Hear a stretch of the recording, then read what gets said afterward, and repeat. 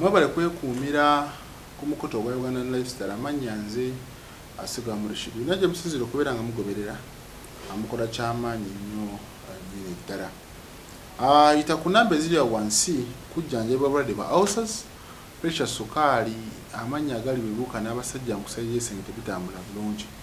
Eddagala lino lya abo ate n'obabwere w'eggwanga lijja kubeera nga likutuukako. Mm, kati kaakati amaka matiribona aga chairman nyanzi ah, mwagalabye omwami ono eh, mujjukira nti yeesimba waawo ah, ku bubaka obwa kampala central. Era muhammad nsireko n'agenda mu maaso n'okubeera munnange ng'amuwangula newankubadde yagenda mu kooti n'agamba nti akalulu kaalimu obubbi. Uh, fred nyanzi sentamu amaka gane eno nnono gatudde ku bugazi bwa yiika emu Eh, omanyi oyinza n'okubeera ne kayiikako nga kali eyo mu kyalo munda luweero.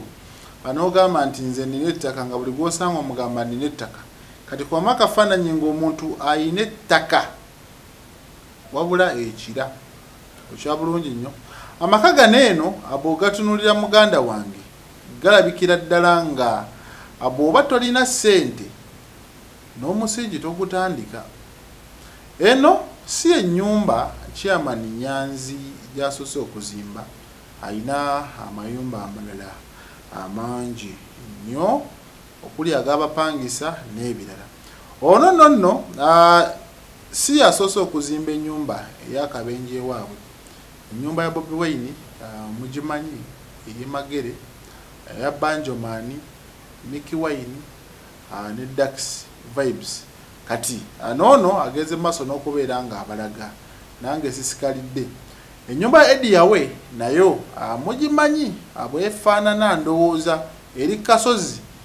Obuwumbi bubiri bw'agamba nti nno bwe yagenda maaso n'okubeera nga agiteekamu so abantu abo bakozi nnyo nnyini ddala ne famire yaabwe enfunyi era ndowooza kyova olaba bafutuuka ku byengera ebifaananako ng'ebyo. Kale congs uh, chairman nyanzi.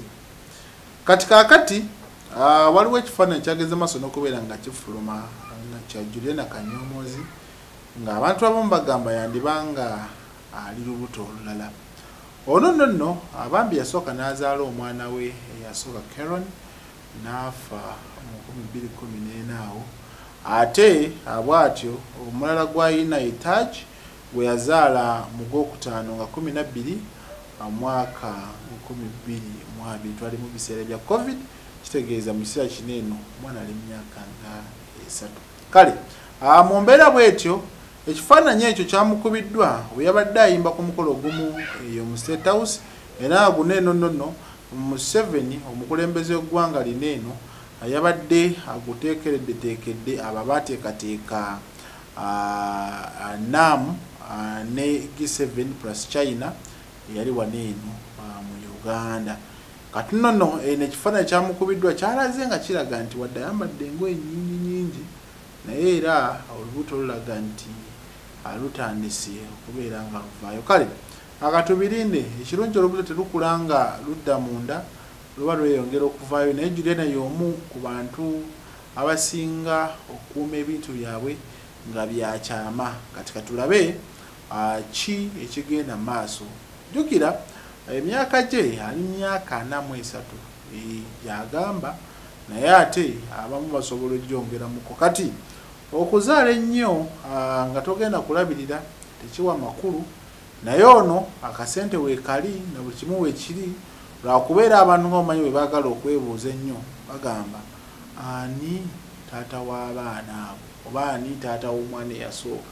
Era waaba lubuto ani anaaba taata w'omwana olwokubiri y'omu oba banjawulo biri awo mu bibuuzo.